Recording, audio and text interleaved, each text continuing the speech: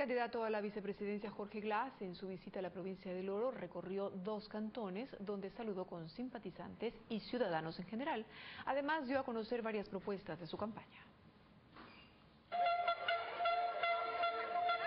Jorge Glass Espinel, binomio de Lenín Moreno a la vicepresidencia de la República, visitó dos cantones de la provincia de El Oro. En la mañana recorrió en caravana algunos sectores de la ciudad de Santa Rosa para luego terminar con una caminata por el casco comercial. Una gran multitud de simpatizantes y ciudadanía acompañaban en el recorrido. Nos llena de alegría porque nos abren las puertas, nos dan un abrazo, nos dicen vamos, vamos hacia un nuevo triunfo con Lenín Moreno presidente, con toda nuestra lista de asambleístas nacionales y asambleístas provinciales. Créditos de emprendimiento turístico, aumento de la productividad, nuevas cadenas productivas y agroindustrias fueron algunas de las propuestas que el ex vicepresidente del Ecuador manifestó a los medios de comunicación.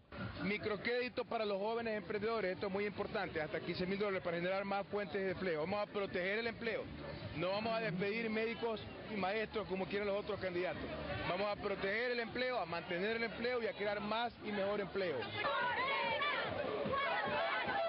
En la tarde, la caravana se trasladó hasta el Cantón Pasaje, donde saludó con la ciudadanía que muy entusiasta demostraba el apoyo hacia el candidato y reconocían en testimonios la labor de la revolución ciudadana. Lenín va a ser el presidente de la República de Ecuador nuevamente. ¿Por qué cree que Porque él, él, tiene que continuar las obras que deja Rocorrea. Hay una persona así que se preocupó por los capacitados. Entonces eso es lo mejor que está haciendo él. Y ningún gobierno, ningún presidente se preocupó por eso. Y él se está preocupando por eso. En el recorrido fue acompañado por los candidatos a asambleístas por la provincia de El Oro en Alianza País Mar Listas 3570. Richard Ceballos, TC Televisión.